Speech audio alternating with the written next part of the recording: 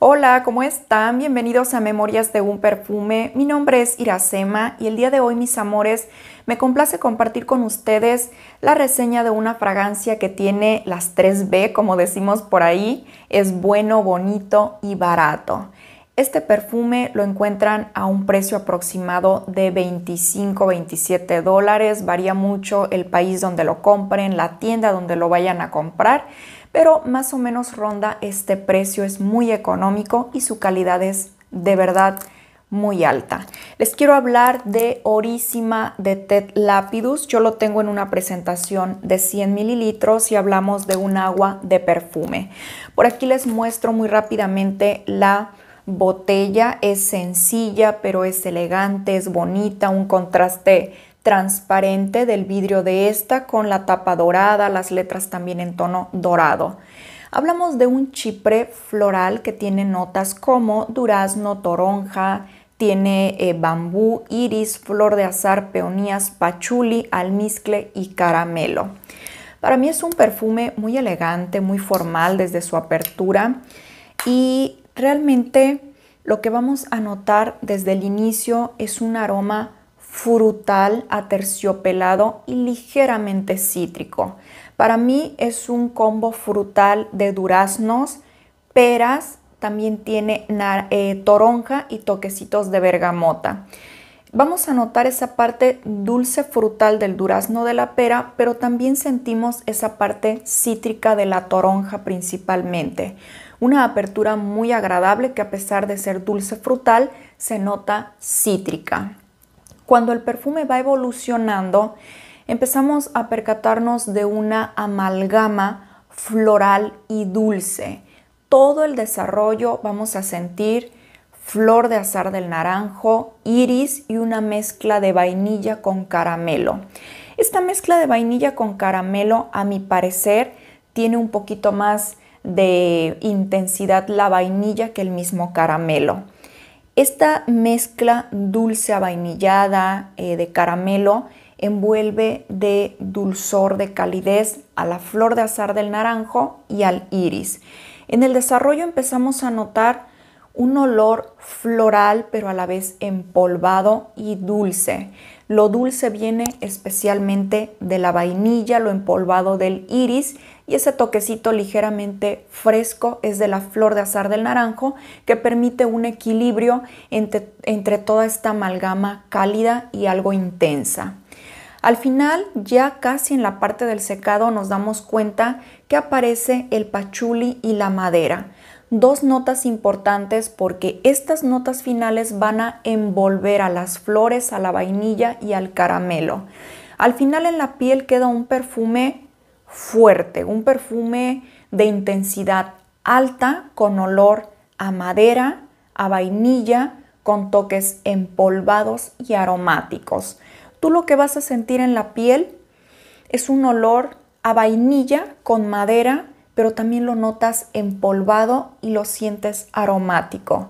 Es un perfume dulzón, pero dulzón hacia lo avainillado, que a pesar de notarse el pachuli. Es un pachuli persistente, constante, pero no muy intenso. Es un perfume muy bonito, la verdad es que más que sensual o más que decirle otra definición a este aroma, yo lo noto formal y lo noto algo invernal, más que todo para días fríos porque sí su intensidad es algo alta, sobre todo por ese dulzor avainillado, sobre todo por esa calidez amaderada y ese rastro empolvado que lo hacen un poquito abrumador para algunos olfatos que estén acostumbrados a perfumes un poco más cítricos o un poco más suaves, más delicados. Esta es una fragancia que tiene una duración extraordinaria. Ustedes van a encontrar en este perfume una calidad muy alta, ya que su duración es de 9 horas en la piel. En ropa esto se prolonga todo el día. Sí, y es una estela algo mm, alta durante las dos primeras horas, tres horas, se siente muy alta, después va moderando un poquito, pero sigue siendo un perfume algo intenso. Tal vez ya las últimas dos horas que lo traes en la piel ya se siente un poquito más suave, pero durante todo el tiempo que lo traigas es un perfume que va a proyectar a mucha distancia. Yo lo he estado usando, pero disfruto ponerme poco porque el día que me puse unas cuatro atomizaciones sí me sentía un poquito mareada. Algo curioso de este aroma que a las 7-8 horas he recibido halagos porque el perfume se sigue sintiendo sin necesidad de que alguien me abrace o esté muy cerca de mí. Por eso les digo que tiene muy buena estela y una duración impecable. Es un perfume económico. He sabido que lo han comparado un poco con La vida es bella o La Vie Belle de Lancôme, esta fragancia muy popular, muy vendida.